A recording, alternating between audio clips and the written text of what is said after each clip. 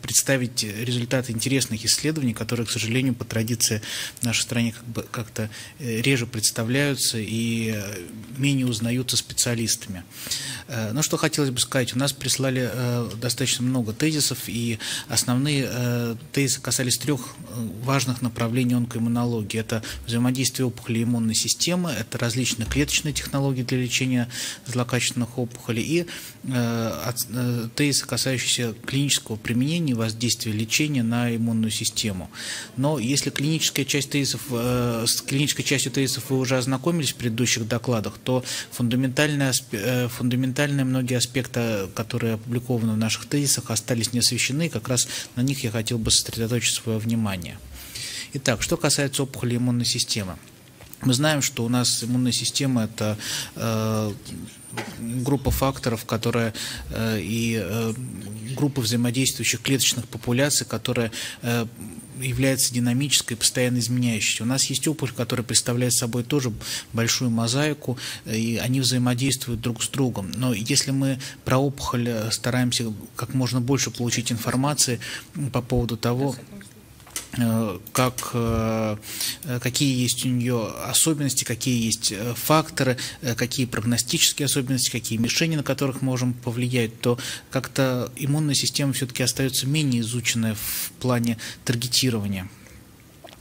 И вот э, э, особо важно хотелось бы подчеркнуть из, важность изучения э, влияния, которое оказывает опухоль на иммунную систему. Как оказывается, вот, например, на примере э, влияния на опухолевого процесса на тимус у животных, э, что пациенты с опухолью э, характеризуются повышенной иммуносупрессией, э, проявляющейся, являющейся следствием оксидативного стресса, который происходит в тимусе. Мы видим, что э, животных с опухолью опухолью, э, и э, наблюдается повышенная активность э, каталазы и повышенная активность оксидодисмутазы, и что все это приводит к уменьшению массы тимуса и, собственно говоря, может быть связано с самим опухолевым процессом.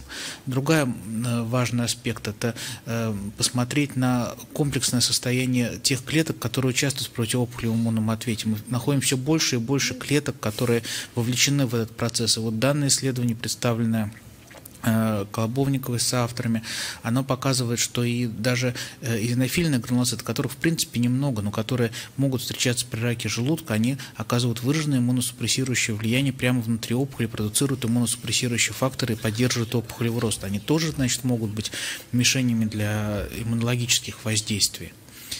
Э, другие молекулы, э, гликтина, которые играют роль в дифференцировке, э, в регуляции апоптоза различных субпопуляций клеток, казалось, имеют довольно-таки важную, играют важную роль при раке толстого кишечника, где они повышают уровень э, Т-регуляторных клеток, э, где повышают уровень продукции ТГФ-бета и при этом снижают уровень э, Т-хелперов первого типа, Т-хелперов, которые отвечают, собственно говоря, за развитие противоопухолевого ответа. Это тоже может быть новой мишенью и новым аспектом в наших знаниях про опухолевое микроокружение циркулирующие стволовые опухоли клетки. Это очень модная э, тема на сегодняшний день, но, к сожалению, мы мало знаем о том, как они связаны вообще с иммунологическим процессом. Их пытаются использовать как жидкостную биопсию, как а, объекты для, для воздействия, для мониторинга лечения, но, как оказалось, они имеют значимую связь с воспалительными маркерами. Но и циркулирующие опухолевые клетки – это неоднородная популяция. Есть клетки, которые обладают функциями э, эпителиального мезенхимального перехода, есть, которые не обладают. Вот именно те, которые не обладают, как оказалось, CD44 позитивные клетки, они, э, э, их уровень высоко коррелирует с провоспалительными маркерами, а мы знаем, что высокий уровень провоспалительных маркеров при злокачественном опухолевом росте – это всегда неблагоприятный прогностический фактор фактор. То есть это еще один кирпичик такой для понимания взаимосвязи э, эффективного или неэффективного воспаления, роли системного воспаления в развитии опухолевого процесса. Что касается клеточных технологий, то мы сегодня уже много говорили про дендритно-клеточные технологии, про, э, про создание аутологичных э, клеточных продуктов. Что нам для этого надо? Безусловно, помимо технологического процесса, нам надо знать достаточно подробный иметь подробную информацию про опухоль саму. Нам надо иметь источник антигенного материала хороший. И э, все это требует наличия хорошего банка э, аутологичных клеточных продуктов. Вот описание такого банка, который разработан у нас в институте, было представлено в наших тезисах. Э, банк уже накопил больше тысячи культур, был создан определенный алгоритм культивирования, анализа, процессирования, регистрации клеточных линий. Что этот банк показывает? Безусловно, большая часть нашего банка это меланома кожи, но посмотрите, значительное количество культур различных опухолей, большая коллекция культур сарком мягких тканей.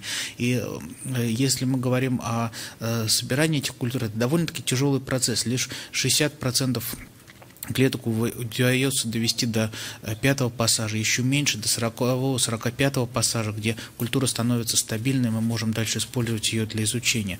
То есть это еще большой и э, трудоемкий процесс, который, тем не менее, необходим для продвижения вперед и для того, чтобы моделировать различные варианты лекарственного взаимодействия заранее. Второй важный аспект – это клональность опухоли. Когда мы берем участок опухолевой ткани, мы не знаем на самом деле, какой мы очаг взяли.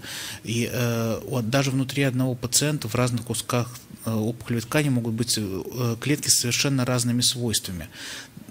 Мы все видели эти исследования на ЭСМО. Э, это очень интересные исследования, но их очень трудно как-то перевести в практику, потому что какой мы практически вывод из этого будем сделать, кроме того, что опухоли это мозаики, они могут быть резистентны к лекарственному лечению. Тем не менее, работа в этом направлении ведется, мы в принципе можем изучать сам факт колоногенности или неколоногенности, э, изучение опухолевых э, клеток и влияние их на, на э, способности образовывать различные клоны, то есть способности фактически оценивать варианты эволюции опухоли различные и их влияние на общую выживаемость. Вот первая работа такая была представлена в, на данной конференции мы видим, что опухоли, у которых характеризуются колоногенностью, они характеризуются более агрессивным течением, и э, больные сарковыми мягкими тканями, у которых можно получить клоны, они, и которые характеризуются повышенным получением клонов, они действительно живут меньше.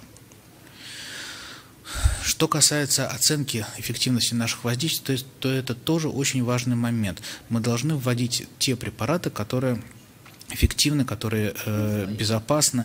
И очень важно знать, как мы оцениваем эффективность терапии. Вот э, одна из работ была проведена тоже э, в нашем отделе. Это э, работа по адаптации метода исследования Т-клеточной пролиферации. Этот метод очень важен и для подготовки вообще в целом технологий дендритно-клеточных вакцин, для оценки качества, для введения это на, для проведения стандартизации этой технологии. И здесь в, этих, в этой работе вы можете ознакомиться с результатами и э, использовать их для дальнейшего продвижения в этой области. Адаптивная клеточная терапия. Сегодня уже много было сказано про э, генерацию э, различных клонов КАР клеток, э, различных клонов э, НК лимфоцитов, но, э, собственно говоря, технология лак клеток тоже не должна, э, не должна забываться, и это одна из первых технологий, которая, собственно говоря, открыла э, все вот это вот направление адаптивной клеточной терапии. Какие проблемы, э, успехи и неудачи были в этой технологии? Безусловно, э, проблема была то, что стимулируя образование лак-клеток неспецифических, мы часто э, сталкивались с проблемой активации регуляторных клеток, которые, собственно говоря, нивелировали весь эффект этой технологии. Хотя были достигнуты очень хорошие результаты и для, для лак-клеток, и для тил-лимфоцитов. И вот коллеги продолжали исследовать исследовать эту технологию, модифицировав ее, удалив предварительно до начала культивирования все иммуносупрессивные клетки и оценив влияние ростовых факторов, то есть то, как мы выращиваем эти клетки на э, фенотип лимфоцитов. И оказалось, что от использованных цитокинов зависит, в общем, результат культивирования и при использовании интерферона гамма мы не получаем такого результата, как хотели бы, э, и как мы получаем при использовании интерлейкина-2. Однако интерлейкин-2 приводит, несмотря на то, что мы удалили все регуляторные лимфоциты до начала лечения, все равно они формируются под воздействием интерлейкина-2, что говорит нам о том, э, что, возможно, эти популяции имеют э, какие-то переходы между собой, или мы э, наблюдаем при уже процессировании, при подготовке клеточного продукта, наблюдаем дифференцировку предшественников популяции уже э, в регуляторные клетки, э, что, безусловно, должно учитываться при развитии дальнейших технологий и клеточных продуктов. В заключение хотелось бы сказать, что представленные результаты исследований действительно свидетельствуют о необходимости дальнейшего, более глубокого изучения иммунологических особенностей опухолевых процессов. И э, здесь важную роль э, и, э, надо э, уделять воздействию опухоли на отдельные компоненты иммунной системы, потому что сейчас это как бы немножко затирается. Э, важен учет биологических особенностей течения заболевания, э, которые может быть, могут являться ключом к разработке эффективных методов лечения. Спасибо за внимание.